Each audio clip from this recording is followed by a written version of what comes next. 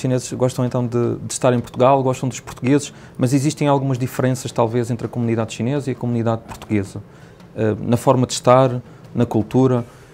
Que diferenças são essas que existem entre os chineses e os portugueses? Se é que existem então essas diferenças? É, diferenças principalmente são diferenças culturais, né? É, mas no final são todos seres humanos. Né? Então, eu acho que com, com, com intercâmbio, com, com diálogo, os dois povos se entendem perfeitamente. Mas eh, costumes, hábitos diferentes se, se, se, existem. Isto com certeza nós não podemos negar. Na, também na, na, na assim, preferência de comida. É, eu dou um exemplo. Agora, no dia 8 de, é, de, 8 de julho, foi é, estabelecido um grande restaurante na Expo, é, chama-se The Old House. É, restaurante de comida chinesa? Comida chinesa da escola de Sichuan. É uma escola é, muito de comida muito picante. Então, eu acho que é, para nós é ótimo, né? Mas para portugueses nós não temos muita certeza. É alguns, alguns portugueses é, gostam. Alguns portugueses gostam e outros é, podem não gostar. Isto é diferença cultural. Isso tem, tem a ver com muitos fatores, com com própria geografia, com clima, né? E outras coisas. Também a forma de, de, de, de, de se comportar também pode ser um pouco diferente. Pode dar alguns exemplos dessas diferenças? É, forma de estar, de, de, de, falar com as pessoas ou de se apresentar? É, por exemplo, é, você se cumprimenta com, com beijos, né? E chineses, não. Não. Então, de repente, para um chinês que chega aqui, você dá um beijo, principalmente para as, as, as raparigas, né? Dá susto. Até, né? Isto é, na China não se pode tocar as mulheres.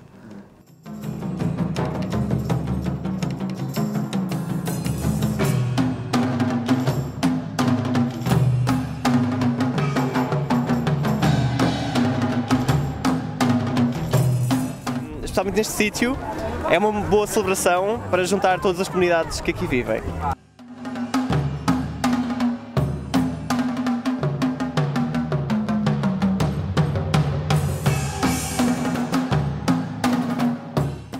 Estou a gostar imenso, eh, gosto imenso destas atividades, são muito bonitas, engloba já muitos jovens portugueses a aprenderem outras culturas, outras, eh, eh, outros desportos, não é? Que não são bem nossos, não é?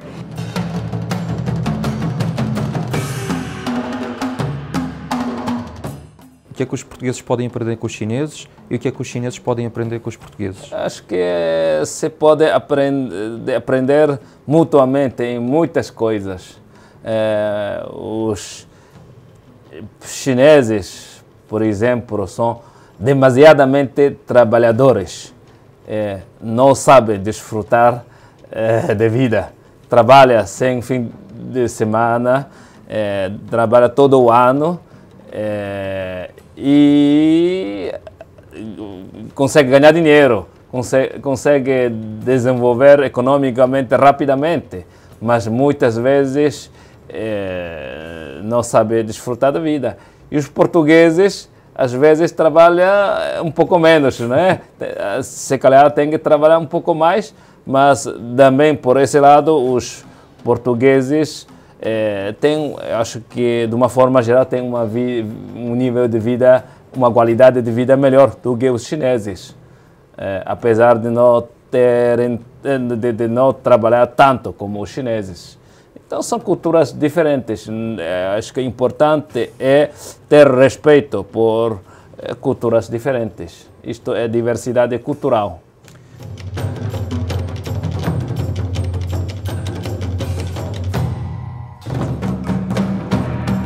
Acho fabuloso. Aliás, tudo que é diferente me entusiasma e, obviamente, que a China é um mistério para mim.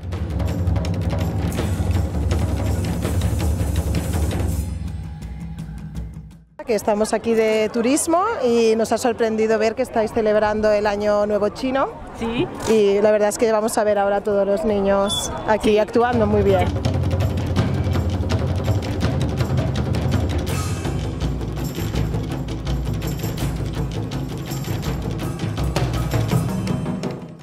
Como é que vê o, o futuro da, das relações culturais entre Portugal e a China? As relações culturais... Sim, se, intercâmbio cultural eh, entre inter- Portugal e a China, quais são as oportunidades que existem ahm, de intercâmbio cultural? Existe assim grandes oportunidades de intercâmbio cultural entre dois países. Eh, nos últimos anos ah, ah, tem desenvolvido muito rapidamente as relações políticas, principalmente relações econômicas. Então, tem chegado muitos eh, investimentos chineses e também estão a chegar cada vez mais turistas chineses, mas em relação ah, a- ao número de turistas chineses que saem do país, eh, assim, os turistas que chegam a Portugal ainda é muito pouco, ainda é muito pouco, são, são muito poucos. Então, eu acho que eh, o principal problema é ainda falta de, de, de, de- de conhecimento mútuo. E para conhecer melhor mutuamente, preciso ter, hum, promover muito mais o intercâmbio cultural.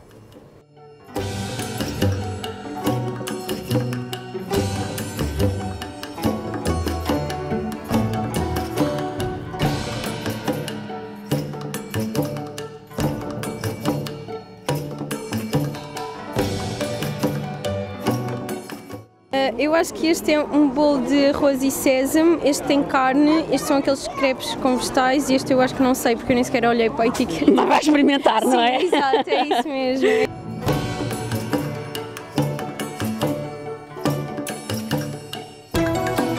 há uma coisa que as pessoas não sabem, que a amizade entre Portugal e China começou aí no século XVI ou XV, eu não sei bem, mas principalmente quando as, as frotas portuguesas ajudaram os imperadores chineses a combater os pi- piratas malaios.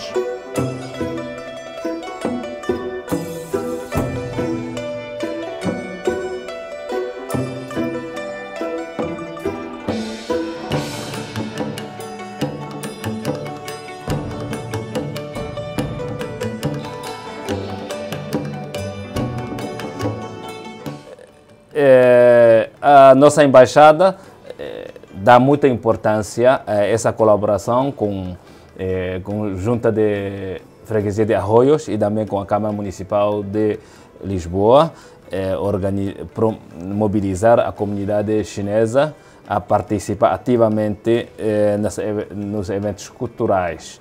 E nós achamos que é uma forma mais, mais eficiente para eh, ajudar a integração da comunidade chinesa na sociedade portuguesa e isto é uma forma também de dar a conhecer ah, as diferentes, ah, as, as recíprocas culturas.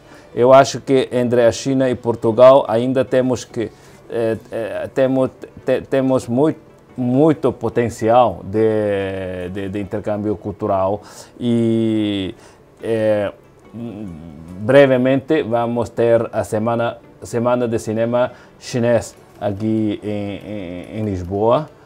E também estão a chegar à China também muitos grupos artísticos da, da, da- de, Portugal. E agora eh, ópera de Pequim circo de acrobacia da China já é conhecido por muitos portugueses. E também está a chegar o fado português na China. Já Qual, qual é a reação dos chineses eh, para com o fado? Eh, acho que é uma forma eh, típica eh, portuguesa, é muito parecida, é uma, uma forma assim, comparável com a ópera de Pequim. É uma coisa única do país. Mas o importante é dar a conhecer, preservar e dar a conhecer ao mundo exterior.